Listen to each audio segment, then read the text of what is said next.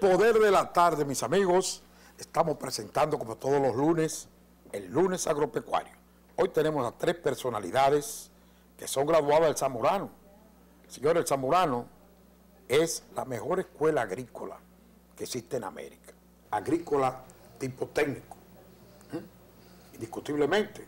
Y contamos con tres de ellos que han hecho carrera. Yo quisiera preguntarle a Pilar Emilio Ramírez, de nuestro extremo izquierdo, ¿qué considera él, finalmente, del desarrollo agrícola en estos momentos y si el zamorano tiene la proyección para ello? Porque eso de venir a venir de empleo, de que, ven 35 mil y 50 mil pesos, no lo veo bien. ¿Qué considera que debe hacer un agrónomo? Bueno, primeramente, el agrónomo tiene muchas herramientas en su mano. Puede trabajar como funcionario, como científico, como técnico y también manejar e implementar su propio negocio, su propia finca, que es lo que hacemos muchos de nosotros. Pero también quiero decirle, usted mencionaba esa, asociatividad que mostramos nosotros los zamoranos, eso es algo, como decía Roberto, que no está en nuestro currículum formal, pero está en nuestro currículum invisible. Yo que he trabajado en varios países, en el momento que yo voy a ir de aquí a Ecuador a hacer una consultoría, yo me comunico con el capítulo de Ecuador, les paso mi agenda e inmediatamente me dicen, aquí hay unos colegas que te buscan al aeropuerto, te van a acompañar y la agenda que tú vas a desarrollar, hay varios zamoranos en el camino. Muy bueno, muy bueno. Ya te los tenemos conectados. O sea que la mitad del trabajo de mi consultoría ya está hecho. Qué bien. Leonel Guerrero, contestadme tu consideración de, estudiar en el Zamorano y si, y si tú crees que se debe seguir estudiando agronomía con las condiciones que el país tiene y cuáles serían las condiciones de un zamorano si viene aquí a República Dominicana actualmente. Sí, entiendo que se debe seguir estudiando eh, agronomía. El país lo necesita, pero no solamente el país. Así como decía Pilar de que hay alrededor de 30 y pico, casi 40 zamoranos que eh, del exterior que trabajan aquí en, en República Dominicana, el dominicano también tiene la posibilidad y de hecho hay zamoranos dominicanos que viven y trabajan en países latinoamericanos, trabajando agronomía. Hay campo. Lógicamente, las condiciones salariales, pero en el, en el Estado son muy diferentes que en el sector privado.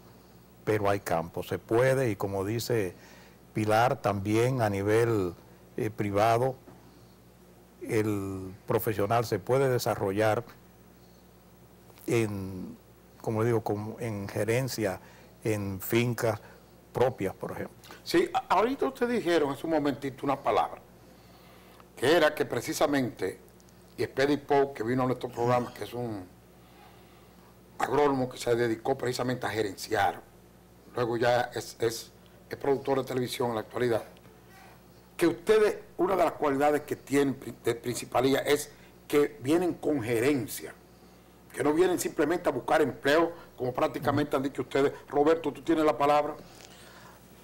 Fíjate, el estudiar agronomía per se en estos países, en estos países, no me estoy refiriendo solo a República Dominicana, tiene que cambiar.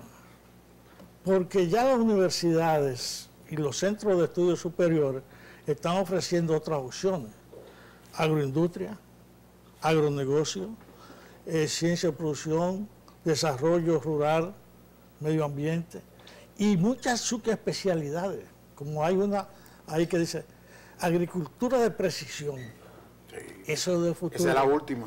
Entonces, las herramientas que tiene, no es solamente agrónomo a producir, ya hay demasiado el penso cargado en eso, no. hay que variar, cambiar esto para estudiar.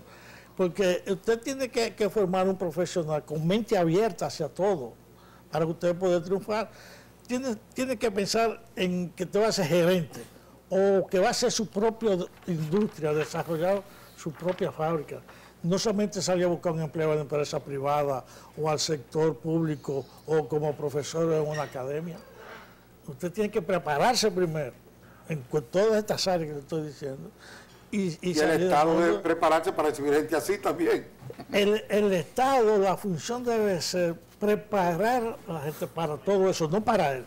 Correcto. Señores, hemos presentado para todos ustedes a tres ex alumnos, tres agrónomos del país, tres glorias del país, porque ser agrónomo no es una papita.